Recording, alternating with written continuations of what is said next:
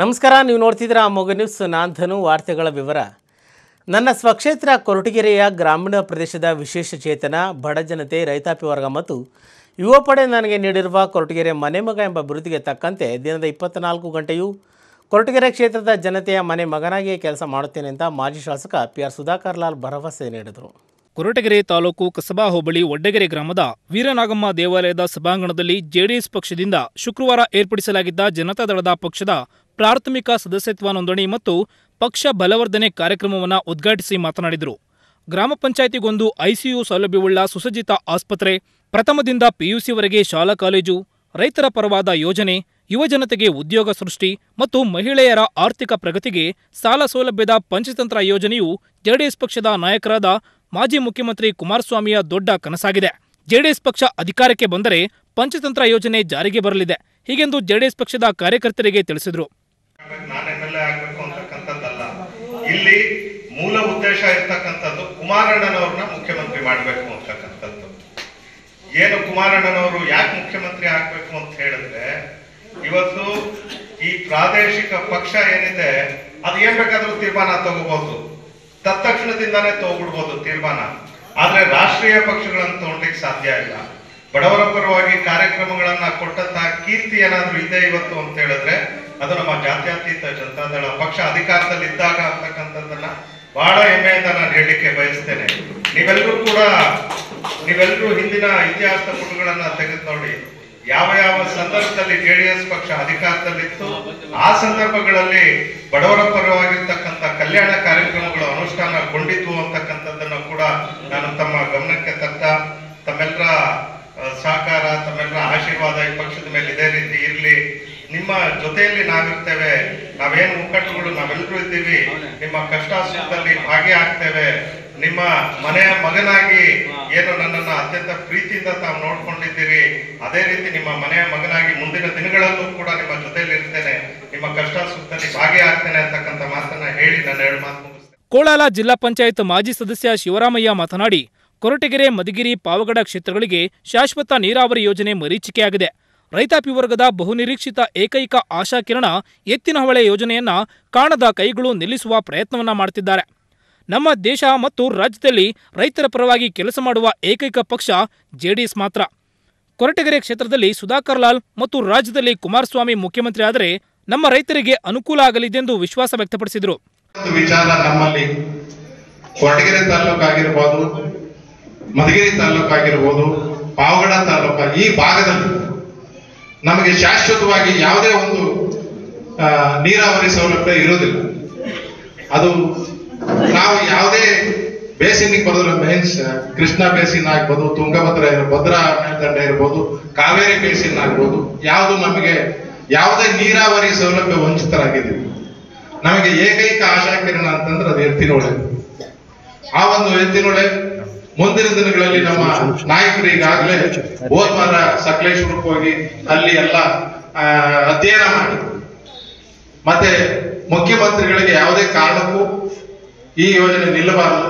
ಕೆಲವೊಂದು ಕಾರಣದ ಕೈಗಳು ಆ ಯೋಜನೆಯನ್ನು ನಿಲ್ಲಿಸುವಂತ ಪ್ರಯತ್ನ ಮಾಡಿದ್ರಿಂದ ಯಾವುದೇ ಕಾರಣಕ್ಕೂ ಆ ಯೋಜನೆ ನಿಲ್ಲಬಾರದು. ಆ ಯೋಜನೆ ನಿಂತರೆ ನಾವು ಸುಮ್ಮನೆ ಇರೋದಿಲ್ಲ ಅಂತ ಎಚ್ಚರಿಕೆಯನ್ನು ಸಹ ಈ ಸರ್ಕಾರಕ್ಕೆ ಕೊಟ್ಟಿದ್ದಾರೆ ಕುಮಾರಸ್ವಾಮಿ. ಆದ್ರಿಂದ ಇವತ್ತು ನಮ್ಮ ಮುಂದೆ ಇರೋದು ಒಂದೇ ಒಂದು ಸವಾಲು ಮುಂದಿನ ದಿನಗಳಲ್ಲಿ ಕುಮಾರಸ್ವಾಮಿ ಅವರು ಏನಾದರೂ ಮುಖ್ಯಮಂತ್ರಿ ಆಗ್ಲೇಬೇಕು ಅಂದ್ರೆ ನಾವು ಸುಧಾಕರ್ ಲಾಲ್ ಸಾಹೇಬ್ನ ಈ ಎರಡ್ ಸಾವಿರದ ಇಪ್ಪತ್ತ್ ಮೂರಕ್ಕೆ ಗೆಲ್ಲಿಸ್ಕೊಂಡು ಹೋಗಲೇಬೇಕಾಗಿದೆ.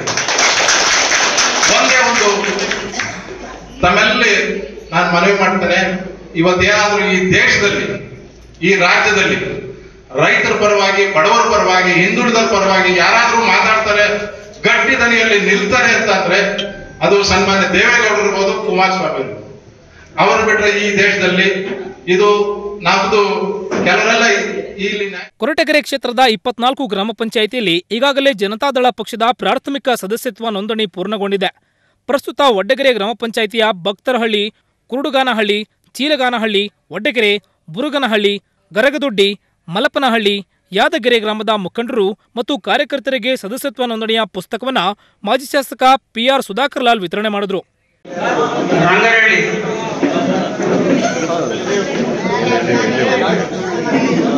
ರಂಗನಹಳ್ಳಿಯ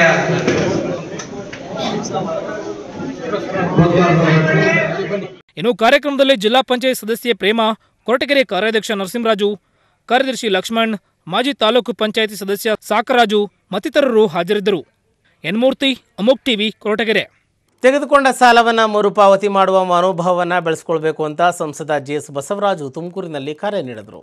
ತೆಗೆದುಕೊಂಡ ಸಾಲವನ್ನ ಮರುಪಾವತಿ ಮಾಡುವ ಮನೋಭಾವವನ್ನ ಬೆಳೆಸಿಕೊಳ್ಳಬೇಕೆಂದು ಸಂಸದ ಜಿಎಸ್ ಬಸವರಾಜ್ ಕರೆ ನೀಡಿದ್ದರು. ತುಮಕೂರಿನ ಚಿಲುಮೆ ಸಮುದಾಯ ಭವನದಲ್ಲಿ ಸ್ವಾತಂತ್ರ್ಯ ಅಮೃತ ಮಹೋತ್ಸವದ ಅಂಗವಾಗಿ ರಾಜ್ಯ ಮಟ್ಟದ ಬ್ಯಾಂಕರ್ಸ್ ಸಮಿತಿ ವತಿಯಿಂದ ಸಾಲ ಸಂಪರ್ಕ ಕಾರ್ಯಕ್ರಮವನ್ನು ಉದ್ಘಾಟಿಸಿ ಸಂಸದರು ಮಾತನಾಡಿದರು.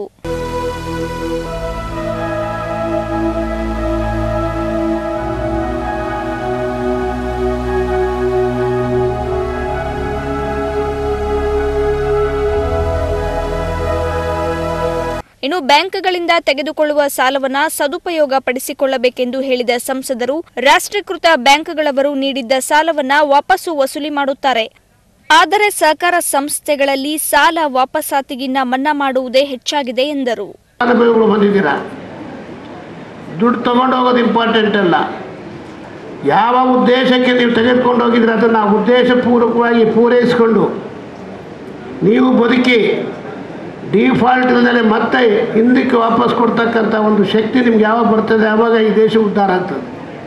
ಅಲ್ಲಿನವ್ರಿಗೂ ಭಾಳ ಕಷ್ಟ ಆಗ್ತದೆ. ನಮ್ಮ ಹಳ್ಳಿ ಕಡೆಗೆ ಒಂದು ಕೆಟ್ಟ ಪ್ರತೀತಿ ರಾಜಕಾರಣಿಗಳು ಅಂದಿಸ್ಬಿಟ್ಟವ್ರೆ ಸಾಲ ತಗೊಂಡೋಗೋ ಆಮೇಲೆ ಅದು ಮನ್ನಾ ಮಾಡಿಸ್ಬೋದು ನಾನು.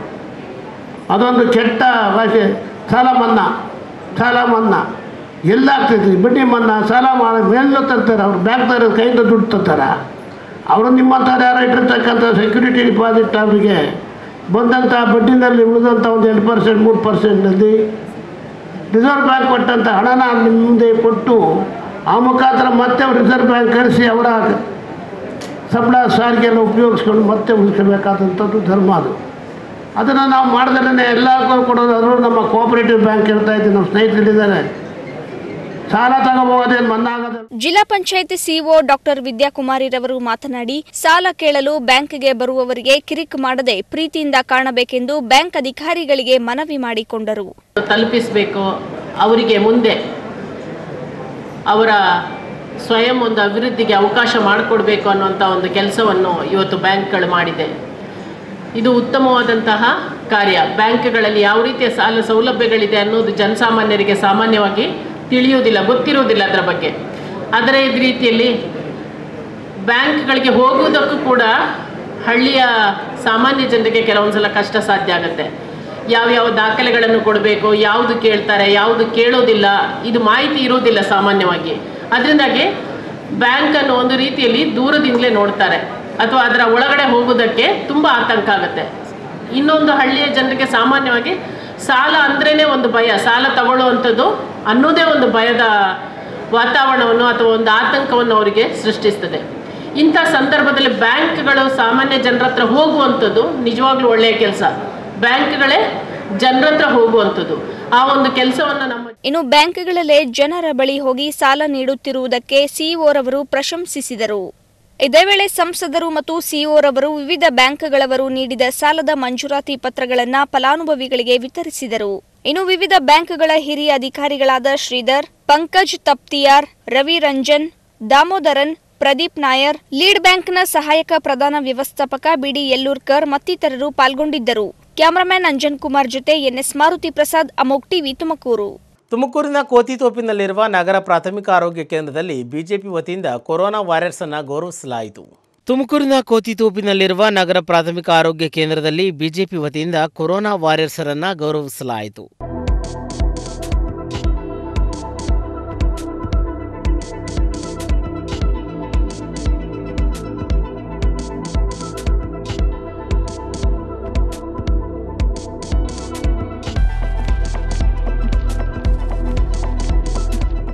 ಕೋಟ್ಯಾಂತರ ಜನರಿಗೆ ಕೊರೋನಾ ಲಸಿಕೆ ನೀಡುವ ಮೂಲಕ ಕೊರೋನಾ ಮುಕ್ತ ಮಾಡಿದ ವೈದ್ಯರು ಆರೋಗ್ಯ ಸಿಬ್ಬಂದಿಗಳನ್ನು ಆಶಾ ಅಂಗನವಾಡಿ ಕಾರ್ಯಕರ್ತರನ್ನು ಗೌರವಿಸಲಾಯಿತು. ಭಾರತೀಯ ಜನತಾ ಪಾರ್ಟಿ ಇವತ್ತು ದೇಶಾದ್ಯಂತ ಭಾರತ ಸರ್ಕಾರ ದೇಶದ ಜನತೆಗೆ ಕರೋನಾ ಮುಕ್ತ ಮಾಡಲಿಕ್ಕೆ ನೂರು ಕೋಟಿ ಜನರಿಗೆ ವ್ಯಾಕ್ಸಿನನ್ನು ಇವತ್ತು ಹಾಕಿದೆ. ಆ ನಿಮಿತ್ತ ಭಾರತೀಯ ಜನತಾ ಪಾರ್ಟಿ ದೇಶದ ಎಲ್ಲ ಲಸಿಕಾ ಕೇಂದ್ರಗಳಲ್ಲಿ ಯಾರು ವ್ಯಾಕ್ಸಿನನ್ನು ಹಾಕಲಿಕ್ಕೆ, ಲಸಿಕೆಯನ್ನು ಹಾಕಲಿಕ್ಕೆ ಸಹಾಯ ಮಾಡಿದ್ದಾರೆ, ಬಹಳ ದೊಡ್ಡದಾದಂಥ ಪಾತ್ರವನ್ನು ನಿರ್ವಹಿಸಿದ್ದಾರೆ. ವೈದ್ಯಕೀಯ ಸಿಬ್ಬಂದಿ, ಆಶಾ ಕಾರ್ಯಕರ್ತೆಯರು, ಅಂಗನವಾಡಿ ಕಾರ್ಯಕರ್ತರು. ಜೊತೆಗೆ, ಇದ್ರ ಜೊತೆಯಲ್ಲಿ ದೊಡ್ಡ ಪ್ರಮಾಣದಲ್ಲಿ ಸೇವಾ ಕಾರ್ಯವನ್ನು ಮಾಡಿರ್ತಕ್ಕಂಥ ಕೋವಿಡ್ ವಾರಿಯರ್ಸ್ ಅಂತ ಏನಿದ್ದಾರೆ, ಅವ್ರಿಗೂ ಕೂಡ ಧನ್ಯವಾದವನ್ನು, ಅಭಿನಂದನೆಗಳನ್ನು, ಅವರಿಗೆ ಕೃತಜ್ಞತೆಯನ್ನು ಅರ್ಪಿಸುವಂಥ ಕೆಲಸವನ್ನು ಭಾರತೀಯ ಜನತಾ ಪಾರ್ಟಿ ಮಾಡಿದೆ. ಇವತ್ತಿನ ಕೋತಿತೋಪ್ನಲ್ಲಿರ್ತಕ್ಕಂಥ ನಗರ ಸಮುದಾಯ ಆರೋಗ್ಯ ಕೇಂದ್ರದಲ್ಲಿರ್ತಕ್ಕಂಥ ವೈದ್ಯಕೀಯ ಸಿಬ್ಬಂದಿಗೆ ತುಮಕೂರು ನಗರದ ಭಾರತೀಯ ಜನತಾ ಪಾರ್ಟಿ ಕಾರ್ಯಕರ್ತರು ತುಮಕೂರಿನಲ್ಲಿರ್ತಕ್ಕಂಥ ಎಲ್ಲ ಲಸಿಕಾ ಕೇಂದ್ರಗಳಲ್ಲಿ ಮಾಡಿದ್ದಾರೆ. ನಾವು ಕೂಡ ಕೋತಿ ಕೋತಿತೋಪ್ನಲ್ಲಿರ್ತಕ್ಕಂಥ ನಗರ ಸಮುದಾಯ ಆರೋಗ್ಯ ಕೇಂದ್ರದಲ್ಲಿ ಇಲ್ಲಿಯ ಆರೋಗ್ಯ ಸಿಬ್ಬಂದಿಗೆ, ಅಂಗನವಾಡಿ ಸಿಬ್ಬಂದಿಗೆ ಅಭಿನಂದನೆಗಳನ್ನು, ಕೃತಜ್ಞತೆಗಳನ್ನು ಅವರನ್ನು ನೆನೆಸಿಕೊಂಡು ದೇಶಕ್ಕೆ ಆರೋಗ್ಯವನ್ನು ಕೊಟ್ಟಿರ್ತಕ್ಕಂಥ ಇವರ ಕಾರ್ಯವನ್ನು ನಾವೆಲ್ಲರೂ ಕೂಡ ಶ್ಲಾಘನೆ ಮಾಡ್ತಾ ಇದ್ದೀವಿ. ಅವರಿಗೆ ಮತ್ತೊಮ್ಮೆ ಅಭಿನಂದನೆಗಳನ್ನು ಸಲ್ಲಿಸ್ತೇವೆ. ಮಾಜಿ ಸಚಿವ ಎಸ್ ಶಿವಣ್ಣ ಮುಖಂಡರಾದ ನಂದೀಶ್ ರಂಗನಾಯಕ ಟಿಆರ್ ಸದಾಶಿವಯ್ಯ ಬೆಟ್ಟಸ್ವಾಮಿ ಕೊಪ್ಪಳ ನಾಗರಾಜ್ ಮತ್ತಿತರರು ಈ ಸಂದರ್ಭದಲ್ಲಿ ಪಾಲ್ಗೊಂಡಿದ್ದರು. ಈ ದಿನ ಇಡೀ ದೇಶಾದ್ಯಂತ ನಮ್ಮ ಭಾರತೀಯ ಜನತಾ ಪಾರ್ಟಿಯ ಸರ್ಕಾರದ ನೇತೃತ್ವ ವಹಿಸುವ ಸನ್ಮಾನ್ಯ ಮೋದಿಯವರ ಅಧ್ಯಕ್ಷತೆಯಲ್ಲಿ ನಮ್ಮ ಇಡೀ ಭಾರತದಲ್ಲಿ ನೂರು ಕೋಟಿ ಜನ ವ್ಯಾಕ್ಸಿನೇಷನ್ನ ಪಡೆದಿರ್ತಾರೆ. ಅದು ಉಚಿತವಾಗಿ ಎಲ್ಲ ವ್ಯಾಕ್ಸಿನೇಷನ್ನ ಪ್ರತಿಯೊಬ್ಬರಿಗೂ ಸಹ ವಿತರಣೆ ಆಗಿರ್ತದೆ. ಅದಕ್ಕೆ ಆ ವಿತರಣೆ ಮಾಡಿದಂಥ ಎಲ್ಲ ಪ್ರಾಥಮಿಕ ಆರೋಗ್ಯ ಕೇಂದ್ರದ ಎಲ್ಲ ಸಿಬ್ಬಂದಿ ವರ್ಗಕ್ಕೂ ಸಹ ನಮ್ಮ ಭಾರತೀಯ ಜನತಾ ಪಾರ್ಟಿ ವತಿಯಿಂದ ಅವರಿಗೆ ಒಂದು ಧನ್ಯವಾದಗಳನ್ನು ಈ ಸಂದರ್ಭದಲ್ಲಿ ಅರ್ಪಿಸೋಕ್ಕೆ ಇಷ್ಟಪಡ್ತೇವೆ. ಅದೇ ರೀತಿ ತುಮಕೂರಿನಲ್ಲೂ ಸಹ ಈ ಒಂದು ಕಾರ್ಯಕ್ರಮನ ಹಮ್ಮಿಕೊಂಡು ನಮ್ಮ ಈ ಒಂದು ಏರಿಯಾದ ಕೋತಿತೋಪಿನ ಪ್ರಾಥಮಿಕ ಆರೋಗ್ಯ ಕೇಂದ್ರದಲ್ಲಿ ಎಲ್ಲ ಡಾಕ್ಟರ್ ಮತ್ತು ನರ್ಸ್ಗಳು ಮತ್ತು ಎಲ್ಲ ಕಾರ್ಯಕರ್ತರ ಪರವಾಗಿ ಅಂಗನವಾಡಿ ಕಾರ್ಯಕರ್ತರಿಗೂ ಸಹ ಈ ಒಂದು ಧನ್ಯವಾದವನ್ನು ಈ ಸಂದರ್ಭದಲ್ಲಿ ಅರ್ಪಿಸೋಕ್ಕೆ ಇಷ್ಟಪಡ್ತೇನೆ. ಕ್ಯಾಮರಾಮನ್ ಅಂಜನ್ ಜೊತೆ N S Maruti Prasad ಅಮುಗ್ TV, Tumakuru. Bajrang ದಳದ ಜಿಲ್ಲಾ ಸಂಚಾಲಕ ಮಂಜು ಭಾರ್ಗವ್ ಹಾಗೂ ಕಿರಣ್ ರವರ ಮೇಲೆ ಗೂಂಡಾಗಳು ಹಲ್ಲೆ ನಡೆಸಿದ್ದನ್ನು ಖಂಡಿಸಿ, ವಿಶ್ವ ಹಿಂದೂ ಪರಿಷತ್ ಮತ್ತು ಬಜರಂಗ ದಳ ಸೇರಿದಂತೆ ವಿವಿಧ ಸಂಘ ಸಂಸ್ಥೆಗಳು ಕರೆ ನೀಡಿದ್ದ ತುಮಕೂರು ಬಂದ್ ಯಶಸ್ವಿಯಾಗಿದೆ.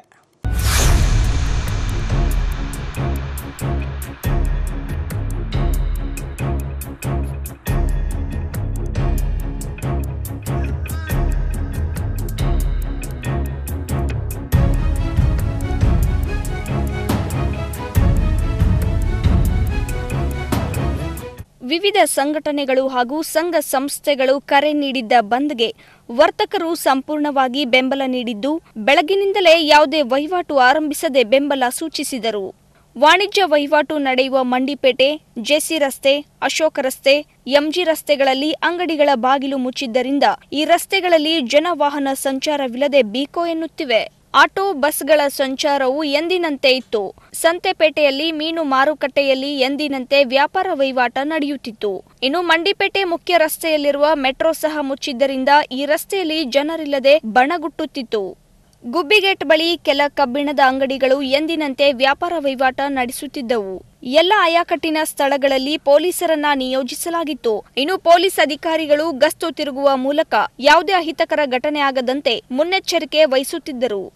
ಕಳೆದ ಮೂವತ್ತು ವರ್ಷದಿಂದ ತುಮಕೂರಿನಲ್ಲಿ ಯಾವುದೇ ಕೋಮು ಗಲಭೆ ಆಗಿಲ್ಲ.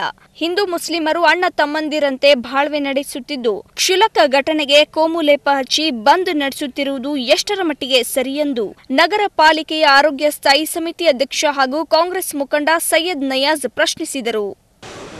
ಇವತ್ತು ಏನು ತುಮಕೂರು ಬಂದಂತ ಮಾಡ್ತಾರೋ ಅದು ಸುಮ್ಮನೆ ಒಂದು ಸುಳ್ಳು ಸುದ್ದಿಯಿಂದ ಯಾವುದೋ ಒಂದು ರೋಡಿನ ಒಂದು ಟೂ ವೀಲರ್ ವೀಲಿಂಗ್ ಬಗ್ಗೆ ಇಷ್ಟು ದೊಡ್ಡದು ಮಾಡ್ತಾ ಇರೋದು ಸೂಕ್ತ ಅಲ್ಲ.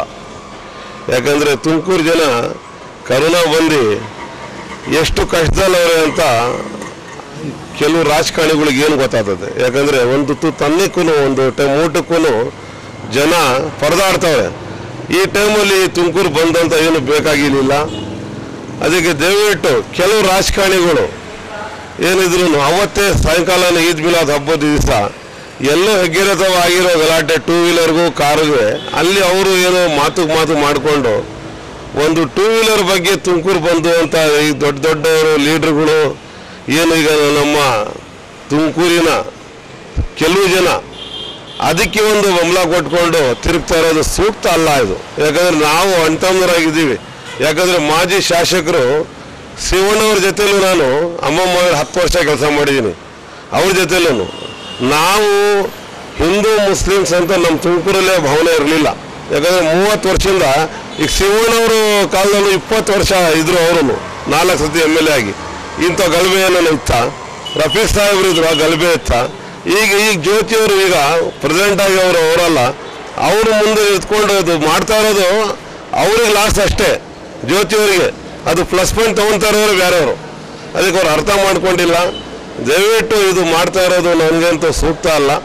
ನಾವಂತೂ ನಾವು ಹೇಳ್ತೀವಿ ನಮ್ಮ ಹಿಂದೂ ಬಾಂಧವರು ನಮ್ಮ ಅಣ್ತಂದ್ರಲ್ಲಿ ಯಾಕಂದ್ರೆ ಹಿಂದೂ ಬಾಂಧವರಿಗೆ ನಾವು, ಅಮ್ಮಮ್ಮ ಆದರೆ ನಾನು ಮಹಾನಗರ ಪಾಲಿಕೆಯಲ್ಲಿ ಎಲ್ಲರೂ ಮೂವತ್ತೈದು ಜನ ಶಾಸಕರು, ನಮ್ಮ ಜಾತಿ ಇಲ್ಲದೆ ನಾವು ಒಂದೇ ಥರದಿಂದ ಅಣ್ತಂದ್ರಾಗಿ ನಡ್ಕೊಂಡು ಹೋಗಿದ್ದೀವಿ ನಮ್ಮ ತುಮಕೂರಲ್ಲಿ. ಶಾಂತಿ ಅಂತ ಮೂವತ್ತೈದು, ಮೂವತ್ತು ವರ್ಷದ ಶಾಂತಿಯಾಗೇ ಐತೆ.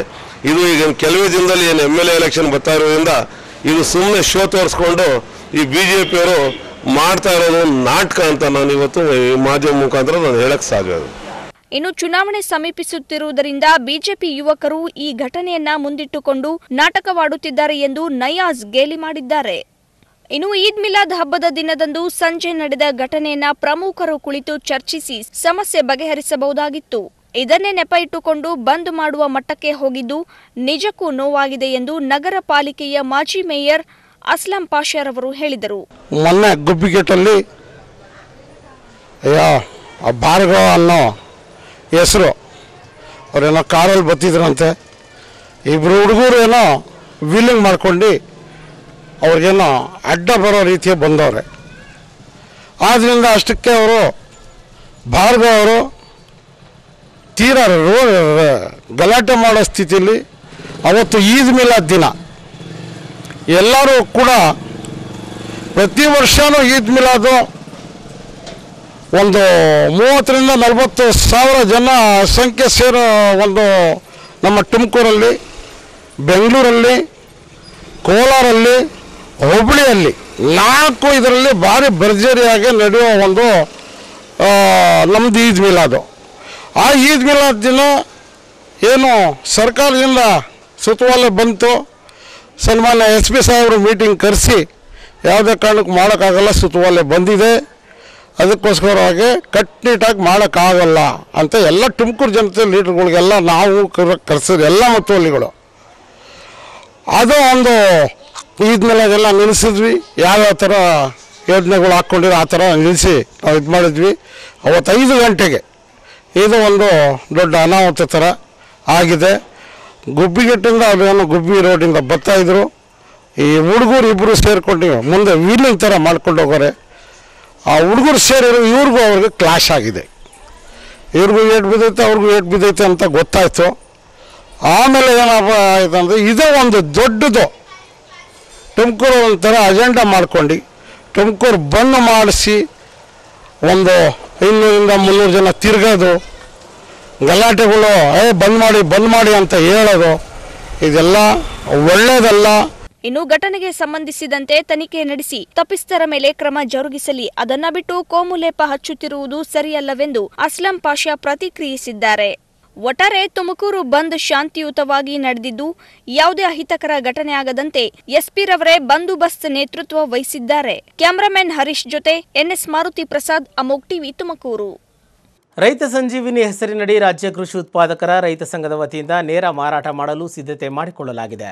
ಕಡಿಮೆ ದರದಲ್ಲಿ ನೈಸರ್ಗಿಕವಾಗಿ ಬೆಳೆದ ತರಕಾರಿ ಸೇರಿದಂತೆ ಆಹಾರ ಪದಾರ್ಥಗಳು ಭಾರಿ ರಿಯಾಯಿತಿ ದರದಲ್ಲಿ ಗ್ರಾಹಕರಿಗೆ ಲಭ್ಯವಾಗುತ್ತಿವೆ.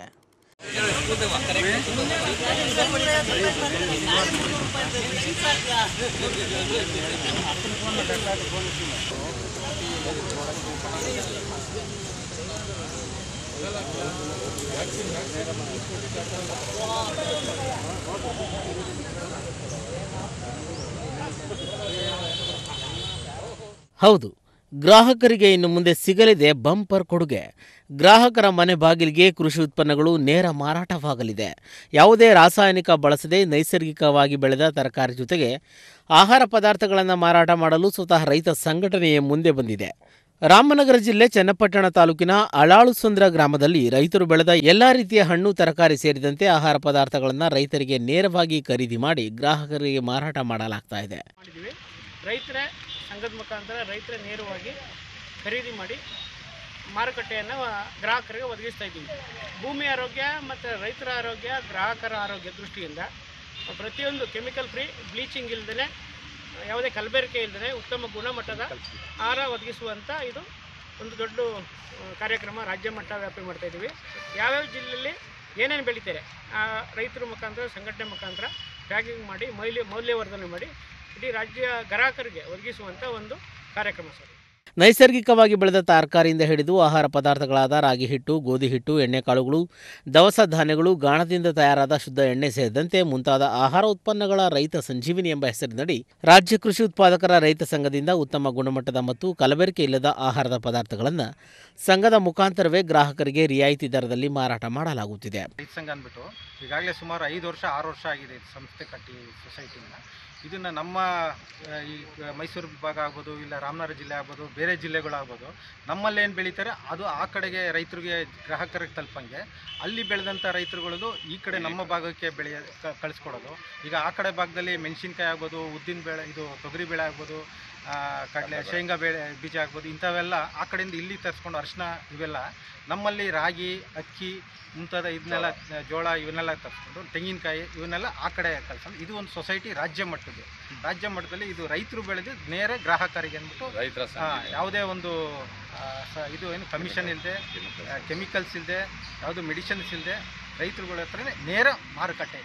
ಪ್ರಾಥಮಿಕ ಹಂತದಲ್ಲಿ ಗ್ರಾಮದಲ್ಲಿ ಪ್ರಾರಂಭಗೊಂಡು ನಂತರ ದಿನಗಳಲ್ಲಿ ಹಂತ ಹಂತವಾಗಿ ರಾಜ್ಯಾದ್ಯಂತ ರೈತರು ಬೆಳೆದ ಬೆಳೆಯನ್ನು ನೇರವಾಗಿ ಗ್ರಾಹಕರಿಗೆ ತಲುಪಿಸುವ ಗುರಿಯನ್ನು ಸಂಘಟನೆ ಹೊಂದಿದೆ ಎಂದು ರೈತ ಸಂಘದ ಮುಖಂಡರು ತಿಳಿಸಿದ್ದಾರೆ.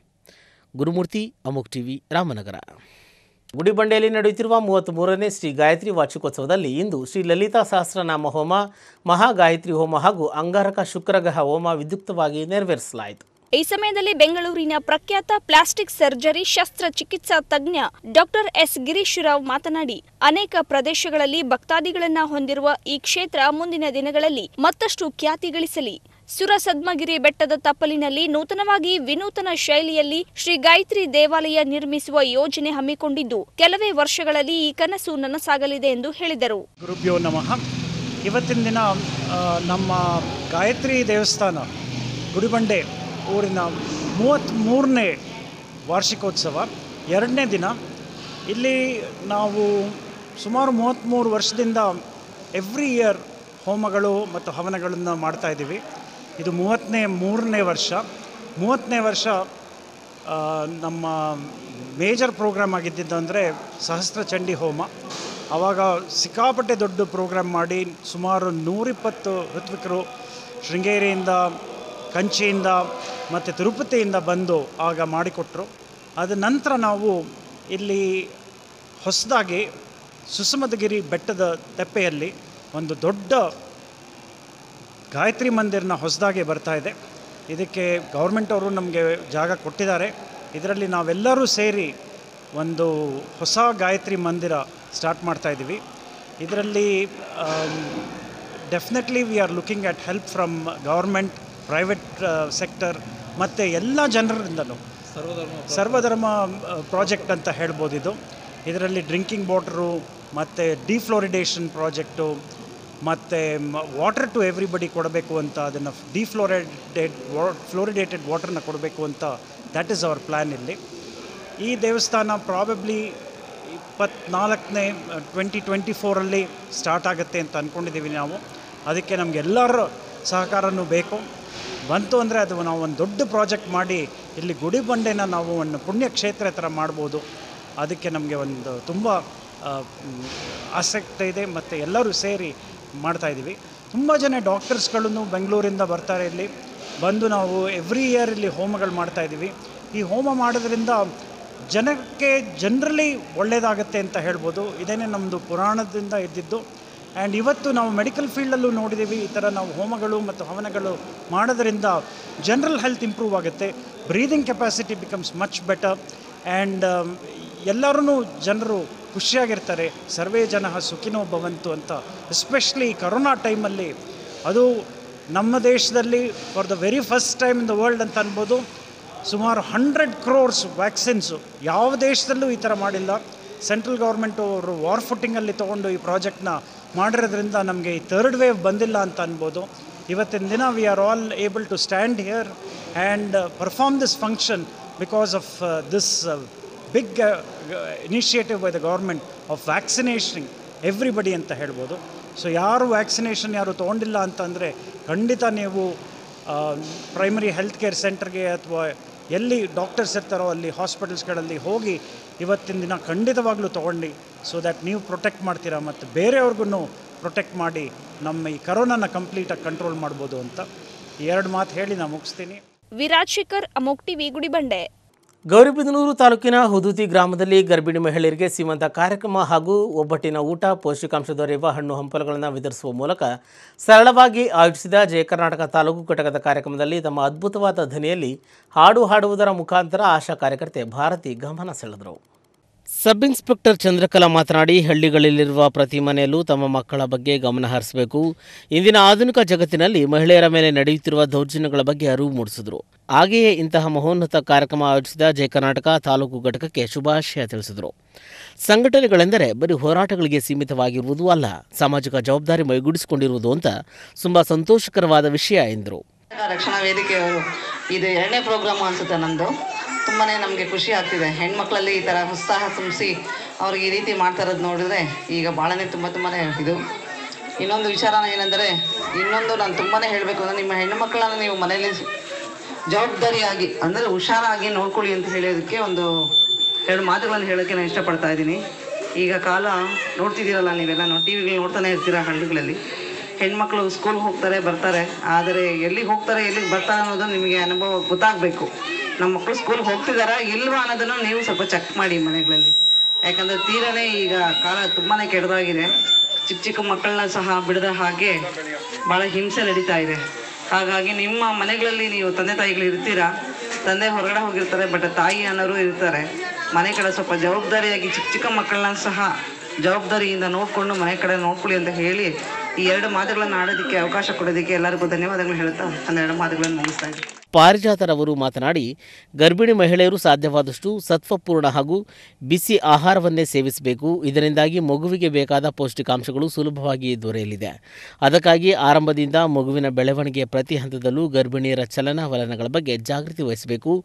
ಪೋಷಕರು ಜನಿಸುವ ಪ್ರತಿ ಮಕ್ಕಳಿಗೆ ಉತ್ತಮ ಸಂಸ್ಕಾರ ನೀಡಬೇಕು. ಇದರಿಂದಾಗಿ ಕೌಟುಂಬಿಕವಾಗಿ ಅಲ್ಲದೆ ದೇಶದ ಸರ್ವಾಂಗೀಣ ಅಭಿವೃದ್ಧಿಗೆ ಸಹಕಾರಿಯಾಗಲಿದೆ ಎಂದರು. ಅಂತ ರಾಷ್ಟ್ರೀಯ ಪೋಷಣ ಅಭಿಯಾನ ಕಾರ್ಯಕ್ರಮದ ಅಡಿಯಲ್ಲಿ ತಿಂಗಳಿಗೆ ಎರಡು ಕಾರ್ಯಕ್ರಮ ಮಾಡಬೇಕು ಅಂತಿತ್ತು ಬಟ್ ನಮ್ಮ ಸೆಂಟ್ರಲ್ ಲೆವೆಲಲ್ಲಿ ನಮ್ಗೆ ಬರೀ ಇನ್ನೂರೈವತ್ತು ರೂಪಾಯಿ ಅಷ್ಟೇ ಬರುತ್ತೆ. ಇಷ್ಟು ಗ್ರ್ಯಾಂಡಾಗಿ ಹಮ್ಕೊಳ್ಳೋಕ್ಕಾಗಲ್ಲ ನೀವೆಲ್ಲ ಅಟೆಂಡ್ ಆಗಿರ್ಬೋದು. ಸೆಂಟ್ರಲೆಲ್ಲ ಮಾಡ್ತಿರ್ತಾರೆ ಪ್ರೋಗ್ರಾಮ್ ಬಂದಿರ್ತೀರಿ ಎಲ್ಲರೂ ಮಾತಾಡಿ. ಬಂದಿದ್ದೀರಾ ಸೆಂಟ್ರಲ್ಲಿ ಅಂಗನವಾಡಿ ಕೇಂದ್ರಕ್ಕೆಲ್ಲ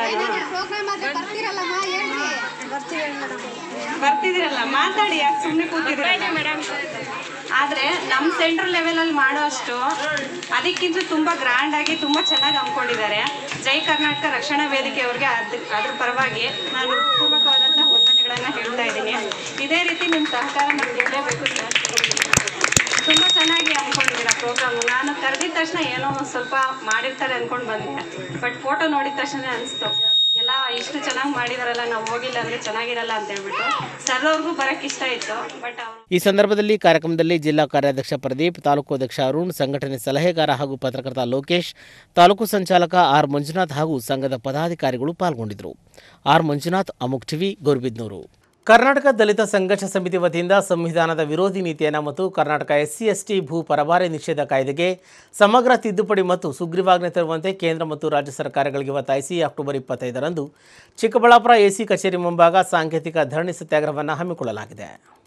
ಚಿಂತಾಮಣಿ ನಗರದ ಪ್ರವಾಸಿ ಮಂದಿರದಲ್ಲಿ ಹಮ್ಮಿಕೊಂಡಿದ್ದ ಸುದ್ದಿಗೋಷ್ಠಿಯನ್ನು ಉದ್ದೇಶಿಸಿ ಮಾತನಾಡಿದ ಅವರು, ಚಿಕ್ಕಬಳ್ಳಾಪುರ ಡಾಕ್ಟರ್ ಬಿಆರ್ ಅಂಬೇಡ್ಕರ್ ಪ್ರತಿಮೆ ಜೈಭೀಮ್ ಹಾಸ್ಟೆಲ್ನಿಂದ ಎಸಿ ಕಚೇರಿವರೆಗೆ ಮೆರವಣಿಗೆ ಮುಖಾಂತರ ಹೋಗಿ ಧರಣಿ ಸತ್ಯಾಗ್ರಹವನ್ನು ಮಾಡಲಾಗುವುದು ಅಂತ ಹೇಳಿದರು. ರಾಜ್ಯ ಸಂಘಟನಾ ಸಂಚಾಲಕರಾದ ಕವಾಲಿ ವೆಂಕಟರಮಣಪ್ಪರವರು ಮಾತನಾಡಿ ಕೇಂದ್ರ ಮತ್ತು ರಾಜ್ಯ ಸರ್ಕಾರಗಳು ಪಿಟಿಸಿಎಲ್ ಕಾಯ್ದೆ ಹತ್ತೊಂಬತ್ತು ನೂರ ಎಪ್ಪತ್ತೆಂಟರ ವಿರುದ್ಧವಾಗಿ ಬಂದಿರುವ ಸುಪ್ರೀಂ ಕೋರ್ಟ್ ತೀರ್ಪುಗಳು ಸದರಿ ತೀರ್ಪಿಗೆ ಸೂಕ್ತ ತಿದ್ದುಪಡಿ ಮತ್ತು ಸುಗ್ರೀವಾಜ್ಞೆ ತರಬೇಕು ಅಂತ ಹೇಳಿದ ಅವರು, ಭೂಮಿ, ನಮ್ಮ ಹಕ್ಕು, ದಲಿತರ ಪ್ರತಿ ಕುಟುಂಬಕ್ಕೆ ಆರ್ಟಿಕಲ್ ಮೂರರ ಪ್ರಕಾರ ಸಂವಿಧಾನಬದ್ಧವಾಗಿ ಎಕರೆ ಜಮೀನನ್ನು ಕೂಡಲೇ ಮಂಜೂರು ಮಾಡಿಕೊಡಬೇಕು ಎಂದರು.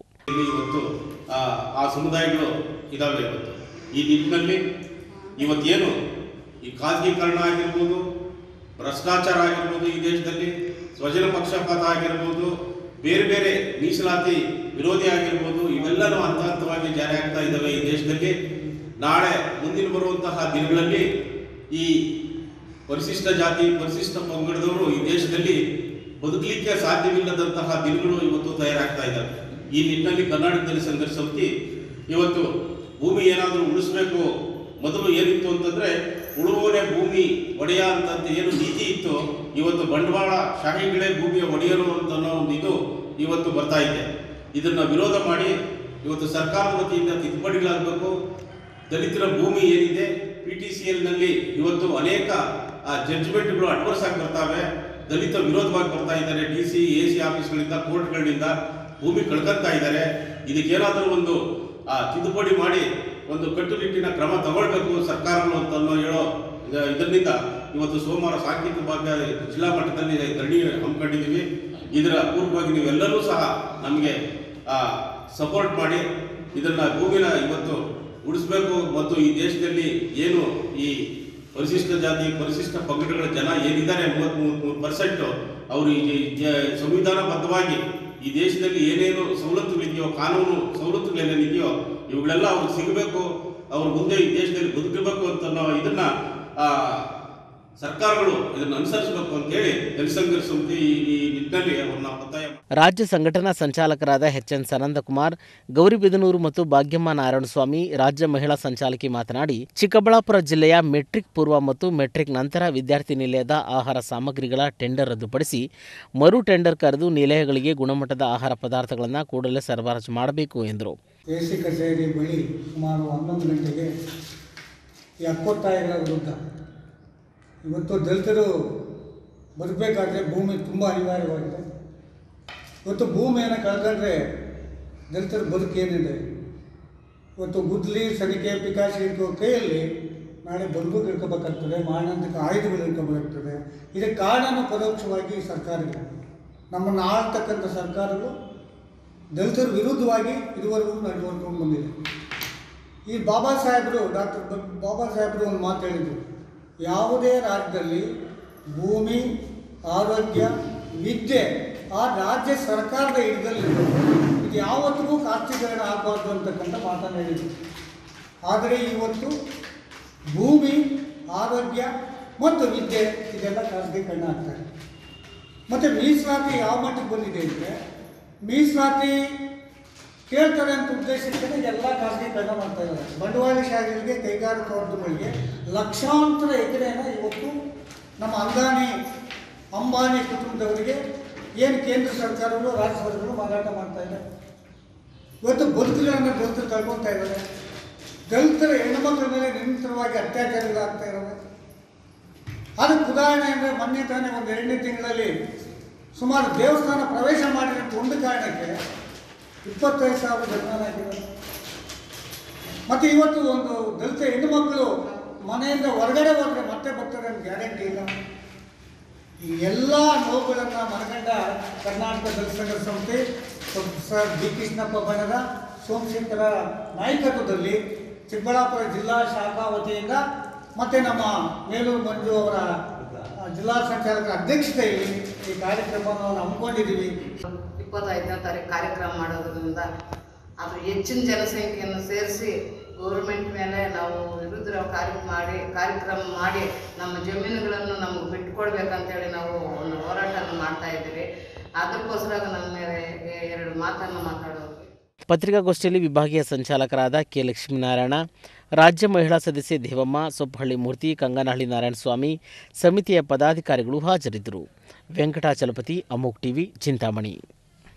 ಭಾರತ ಸರ್ಕಾರದ ಮೊದಲ ಶಿಕ್ಷಣ ಮಂತ್ರಿ ಮೌಲಾನಾ ಅಬ್ದುಲ್ ಕಲಾಂ ಆಜಾದ್ ರವರ ಜನ್ಮ ದಿನಾಚರಣೆ ಆಚರಿಸಲು ಆಗ್ರಹಿಸಲಾಯಿತು. ಈ ಸಮಯದಲ್ಲಿ ಕರ್ನಾಟಕ ರಾಜ್ಯ ಉರ್ದು ಪರಿಷತ್ತಿನ ರಾಜ್ಯಾಧ್ಯಕ್ಷ ಮೊಹಮ್ಮದ್ ನಾಸೀರ್ ಮಾತನಾಡಿ, ಪ್ರಖ್ಯಾತ ಬರಹಗಾರ, ಸ್ವಾತಂತ್ರ್ಯ ಹೋರಾಟಗಾರ ಹಾಗೂ ಸ್ವತಂತ್ರ ಭಾರತ ಸರ್ಕಾರದ ಮೊದಲ ಶಿಕ್ಷಣ ಮಂತ್ರಿ ಮೌಲಾನಾ ಅಬ್ದುಲ್ ಕಲಾಂ ಆಜಾದ್ ರವರ ಜನ್ಮ ದಿನಾಚರಣೆ ನವೆಂಬರ್ ಹನ್ನೊಂದರಂದು ದೇಶಾದ್ಯಂತ ರಾಷ್ಟ್ರೀಯ ಶಿಕ್ಷಣ ದಿನಾಚರಣೆಯಾಗಿ ಶಾಲಾ, ಕಾಲೇಜು, ಸರ್ಕಾರಿ ಕಚೇರಿಗಳಲ್ಲಿ ಆಚರಿಸಲಾಗ್ತಾ ಇತ್ತು. ಇವತ್ತೇನು ಕರ್ನಾಟಕ ಉರ್ದು ಸಾಹಿತ್ಯ ಪರಿಷತ್ ವತಿಯಿಂದ ಹಾಗೂ ಈ Tipu Sultan welfare association trust ವತಿಯಿಂದ ಇವತ್ತೊಂದು ಮೆಮೊರಂಡಮ್ ಕೊಟ್ಟಿದ್ದೀವಿ. ಆ ಮೆಮೊರಂಡಮ್ಮು ಕೊಡೋಕ್ಕೆ ಕಾರಣ ನಮ್ಮ ದೇಶದ ಮೊದಲನೇ ಶಿಕ್ಷಣ ಮಂತ್ರಿ. ನಮ್ಮ ದೇಶದ ಮೊದಲನೇ ಶಿಕ್ಷಣ ಮಂತ್ರಿ ಆಗಿದ್ದರು ಮೊ, ಡಾಕ್ಟರ್ ಮೌಲಾನಾ ಅಬುಲ್ ಕಲಾಂ ಆಜಾದ್ನವರು. ಅವರು, ಅವ್ರ ಜನ್ಮದಿನಾಚರಣೆ ಸೆಂಟ್ರಲ್ ಗೌರ್ಮೆಂಟಿಂದನೇ ಆರ್ಡ್ರ್ ಆಗಿದೆ.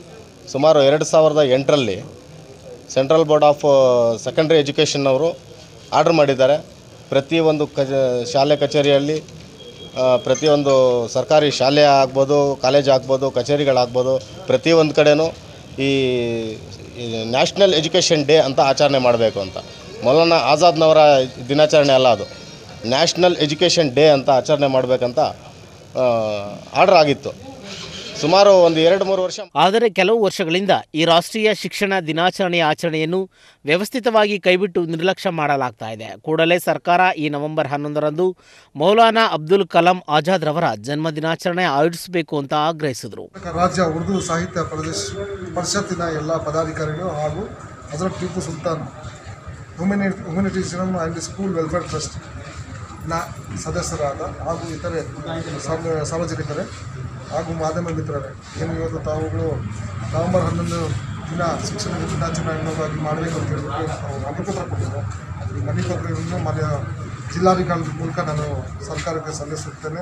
ಆದಷ್ಟು ಬೇಗ ಏನು ತಾವು ಕೋರಿಕೆ ಇದೆ Hazrat Tipu Sultan humanitarian and social welfare ಟ್ರಸ್ಟ್ನ ಶಾಬುಲ್ ಹಸನ್ ಮಾತನಾಡಿ ಒಬ್ಬ ದೇಶಭಕ್ತ, ಚಿಂತಕ ಹಾಗೂ ಶಿಕ್ಷಣ ಪ್ರೇಮಿಯ ಜನ್ಮ ದಿನಾಚರಣೆಯ ಆಚರಣೆಯನ್ನು ಕೈಬಿಟ್ಟಿರುವುದು ಬಹಳ ಅವಮಾನಕರ. ಈ ನವೆಂಬರ್ ಹನ್ನೊಂದರಂದು ಮೌಲಾನಾ ಅಬ್ದುಲ್ ಕಲಾಂ ಆಜಾದ್ ಅವರ ಜನ್ಮ ದಿನಾಚರಣೆ ಆಚರಣೆ ಮಾಡಿ ಒಬ್ಬ ಮಹಾನಾಯಕನನ್ನು ನೆನಪಿಸಿಕೊಳ್ಳುವ ಕೆಲಸ ಮಾಡಬೇಕು ಎಂದರು. ರಾಜ್ಯ ಉರ್ದು ಸಾಹಿತ್ಯ ಪರಿಷತ್ ವತಿಯಿಂದ ತಹಸೀಲ್ದಾರ್ ಸಾಹೇಬರಿಗೆ ಒಂದು ಮನವಿ ಕೊಡಬೇಕು ಅಂತ ಬಂದಿದ್ದೀವಿ. ಮನವಿ ಪತ್ರ ಏನು ಅಂದರೆ ಈ ದೇಶ ಕಂಡ ಮೊಟ್ಟ ಮೊದಲು ಪ್ರಧಾನ ಇದು ಶಿಕ್ಷಣ ಮಂತ್ರಿ ಆಗಿದ್ದ ಅಬ್ದುಲ್ ಕಲಾಂ ಆಜಾದ್ ಅವ್ರ ದಿನಾಚರಣೆಯನ್ನು ಶಿಕ್ಷಣಕ ದಿನಾಚರಣೆ ಅನ್ನೋದು ಮಾಡಬೇಕು ಅಂತ. ಯಾಕಂದ್ರೆ ಮೊದಲು ಒಂದು ಎರಡು ಸಲ ಮಾಡಿದ್ರು.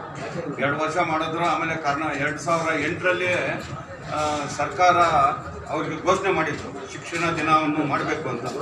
ಆದರೆ ಕಾರಣಾಂತಗಳಿಂದ ಮುಂದೆ ಅದು ಮಾಡೋಕ್ಕೆ ಹೋಗ್ತಾ ಇಲ್ಲ. ಅದಕ್ಕೆ ಮುಂದೆ ಅದು ಮುಂದುವರಿಸಬೇಕು ಅಂತ ನಾವೆಲ್ಲ ಕಡೆ ರಾಜ್ಯಾದ್ಯಂತ ಎಲ್ಲರೂ ಈ ಥರ ಮನವಿ ಕೊಟ್ಟು ಆ ದಿನವನ್ನು ಹನ್ನೊಂದು ನವಂಬರ್ ಹನ್ನೊಂದನ್ನು ನಮ್ಮ ಮೌಲಾನಾ ಅಬ್ದುಲ್ ಕಲಾಂ ಆಜಾದ್ ದಿನಾಚರಣೆಯನ್ನು ಆಗಿ ಮಾಡಬೇಕು ಅಂತ ನಾವು ಅವ್ರನ್ನು ಮನವಿ ಕೊಡ್ತಾ ಇದ್ದೀವಿ ಸಾಹೇಬರಿಗೆ. ಈ ಮನವಿ ಪತ್ರ ಓದಬೇಕು ಅಂದರೆ ಓದ್ತೀನಿ. ಓದಿ. ಓದಬೇಕಾ ಬೇಡವಾ? ಓದಿ ಓದಿ. ಈ ಸಮಯದಲ್ಲಿ ಮಾಜಿ ಪಟ್ಟಣ ಪಂಚಾಯತಿ ಅಧ್ಯಕ್ಷ ರಿಯಾಸ್ ಪಾಷಾ ಮುಖಂಡರಾದ ಶಬೀರ್ ಮುನೀರ್ ಅಮರನಾರಾಯಣ ನರಸಿಂಹಮೂರ್ತಿ ಮೊದಲಾದವರು ಪಾಲ್ಗೊಂಡಿದ್ದರು. V Rajashekhar ಅಮುಕ್ TV Gudibande.